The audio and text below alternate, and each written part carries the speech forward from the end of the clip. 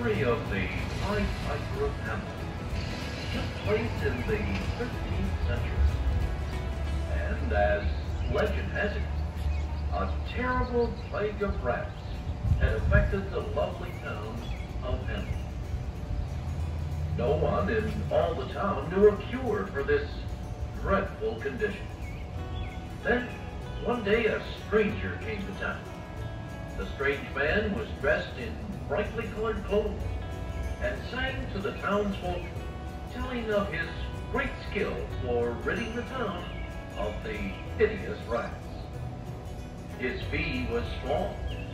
He asked but a penny for each rat he removed.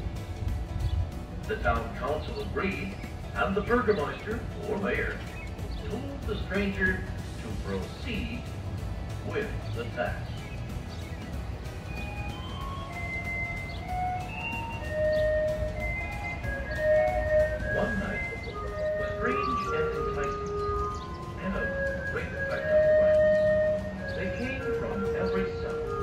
And crevice. Rats by the dozen, by the fifties, even several hundreds, followed the fighter. On and on the rats followed, right out the streets of Hamelin, right into the River Weser, where the musically charmed rats met their death by drowning.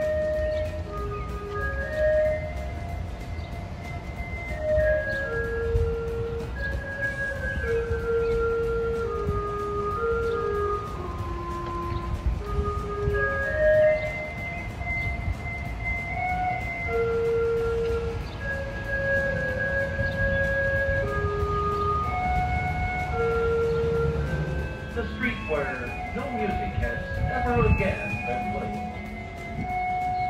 The children followed the piper through the east gate.